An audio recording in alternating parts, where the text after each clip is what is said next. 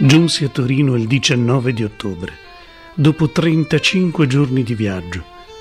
La casa era in piedi, tutti i familiari vivi, nessuno mi aspettava. Ero gonfio, barbuto e lacero e stentai a farmi riconoscere.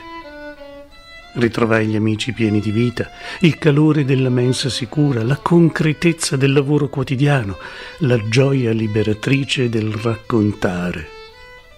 Ritrovai un letto largo e pulito che a sera, attimo di terrore, cedette morbido sotto il mio peso.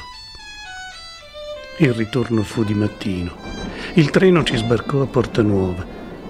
Con me c'era un amico dal treno l'amico vide un palazzo di Corso Sommelier dove abitavano dei suoi parenti.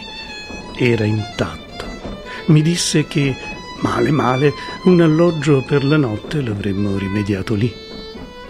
La città era gravemente danneggiata dai bombardamenti e dall'insurrezione, ma ricordo che mi stupì l'estrema vitalità degli amici.